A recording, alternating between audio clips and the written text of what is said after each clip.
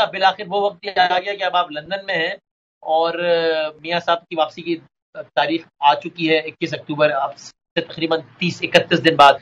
पहले तो बताइए, आप अभी उनसे मिलकर आए हैं तो कहीं से आपको कोई ये तासुर मिला है कि बंदियाल साहब के आखिरी फैसले के बाद शायद किसी भी वजह से वापसी के फैसले में कोई लहतुलाल हो जाए या आपका कहना है कि नहीं जनाब, एक हज़ार फ़ीसद मियाँ मोहम्मद नवाज़ शरीफ इक्कीस तारीख को आ रहे वापस? वसीम, पहली बात तो यह है कि बदकिस्मती है कि हम एक शख्स को कोट कर रहे हैं कि उसके जाने के बाद क्या अब तो कोई रुकावट नहीं रही। काश ऐसी बात करने की नौबत ना आती। काश अदारे जो हैं वो किसी शख्सियत के गिर्द ना घूमते, बल्कि अदारे इंडिपेंडेंट काम करते तो आज हमें ये सवाल जवाब करने की ज़रूरत पेश ना आती। मगर जहाँ तक आपका सवाल है तो मैं आपको खुदा के फजलो करम से बशर्त ज़िंदगी हाँ। अल्लाह उनको हाँ। सेहत वाली दराजी उम्र दे तो इन ताला वो 21 को पाकिस्तान आ रहे हैं इनशाला आज जो आपकी मुलाकात हुई उसमें कोई डिस्कस हुआ कि ये हालिया अदालती फैसले के बाद पता नहीं वापसी के बाद शायद सीधा जेल ही जाना पड़ जाए या पता नहीं मीनार पाकिस्तान जाए या क्या यार बात यह है, वसीम, और आप जैसे बंदे को जवाब देते हुए मुझे इतमान यह है कि क्योंकि हमेशा आपने बैलेंस बात की है, हमेशा आपने सहाफती असूलों के मुताबिक अपना सवाल जवाब किया है। बात यह है कि बदकिस्मती से जो कुछ भी हुआ 2014 से 2017 तक, और जो अरेंजमेंट हुए किसी को निकालने और किसी को लाने के लिए क्या वो आईनी तौर पे दुरुस्त थे? क्या वो इंसाफ के तकाजे पूरे करते थे? और क्या आज जो हम सवाल ये कर रहे हैं कि जेल जाना पड़ जाए तो ये सवाल इसलिए नहीं बनता कि जिस शख्स को बेगुना होते हुए सजा सुना दी गई थी और उसको पता था, पूरी कौम को पता था कि ये बेगुना होते हुए सजा देना मकसूद सिर्फ़ था, इसलिए सजा दी गई। तो जब उस वक्त लंदन से वो अपनी बेटी का हाथ थाम कर जेल जाने के लिए आ गए थे पाकिस्तान। तो आज तो ये सवाल ही बनता। और दूसरा किसी को बिल्कुल गलत सजा भी हुई हो तो भी उस सजा के खत्म करने का तरीका तो ये है ना कि बेल हो वरना और क्या होगा? क्योंकि सजा देने वाले तो चले गए तो कोई ये थोड़ी होगा कि एक दिन नए जज आके बोलेंगे कि वो सजा गलत थी और कैंसिल हो गई। फिर भी बेल ही लेनी पड़ेगी ना अदालत ये कहेगी कि हाँ जना बहुत ही बोगस मुकदमा था जमानत हो गई। और जमानत नहीं होगी तो जेल जाना होगा। चाहे बोगस तरीन मुकदमा भी हो।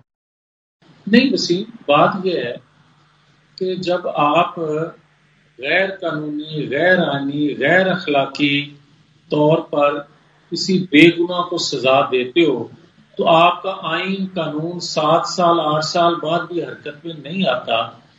और आज तमाम अरकान वो लोग जो उस वक्त के मनसूबा साज थे इतराफ जुर्म करने के बाद भी क्या मुनसब जो हैं वो फिर भी देखते रहे कि गुनागार जिस कतार में लगते हैं उसी कतार में बेगुना को भी लगा दिया जाए तो फिर इंसाफ के तकाजे तो पूरे ना हुए। नहीं तो आप ये कह रहे हैं कि मुनसिफ जो है वो खुद अकल एक, एक खुद नोटिस ले लें खुद ही अदालत में बैठ जाए और कहें कि नवाज़ शरीफ साहब जाती भी सारे किस खत्म।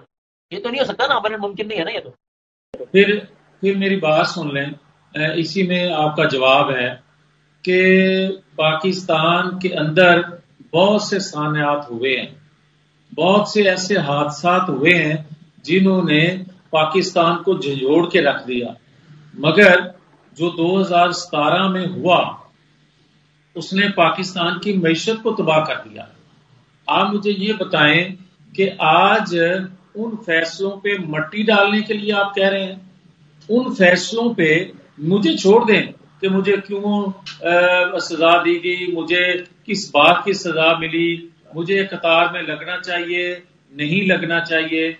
मगर मैं आपसे सवाल करता हूँ कि क्या मुनसफों को ये चाहिए नहीं कि 2014 से लेकर 2017 तक जो जो मनसूबा साज थे, जो फैजाबाद धरने में एक जजमेंट आई थी और जजमेंट देने वाले जो मोजज शख्स थे, उनके खिलाफ किन के कहने पे रेफरेंस आया था?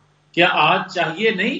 ताकि आइंदा कोई इंसाफ करते वक्त झोल ना खाए इंसाफ करते वक्त उसका कलम जो है तो आप कह रहे हैं चाहिए। अब वो अगर ये नहीं करते जो कि ज़ाहिर अभी तो अगले दस बीस दिनों में तो नहीं करने लगे। तो ये तो बताएँगे आपके जहन में क्या है कि नवाज़ शरीफ जब लंदन लैंड करेंगे तो लंदन से पाकिस्तान लैंड करेंगे तो क्या होगा? नहीं मेरी यार सुन लेना फिर। आप अगर मुझे हौसले से सुन लें तो मैं गुजारिश कर सकता हूँ जो आप कहना चाहते हैं। मैं ये आपके इलम में नहीं, आपके मुशाहे में बहुत सी जो चीज़ें हैं, उनमें एक चीज़ का और इजाफा करना चाहता हूँ वो ये कि क्या हम हमेशा ये सोचते रहेंगे कि जुल्फकार अली भुट्टो को उस वक्त के मुनसफों ने जो मुनसब थे, उन्होंने गलत सजा दी, मगर हमें 20 साल बाद एहसास हुआ कि वो गलत सजा थी।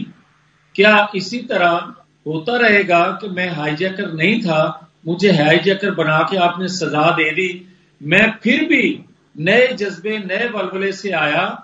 2013 में मैंने अंधेरे दूर किए, मैंने पाकिस्तान के अंदर से दहशतगर्दी खत्म की, मैंने पाकिस्तान के फ्यूचर के लिए सी पैक दिया और फिर मुझे हटा दिया। ये सिलसिला क्या खत्म नहीं हो सकता? और खत्म होने का एक कौम को यकीन कैसे आएगा जब तक आप उन किरदारों को कटहरे में लाकर सजा नहीं देंगे।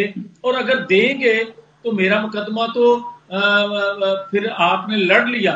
और अगर मैं आप सजा नहीं देते तो इसका मतलब है मैं पाकिस्तान के लिए कुर्बान हो जाऊँ। पाकिस्तान को फ़ायदा पहुँच जाए मगर मेरी गर्दन उड़ा दी जाए।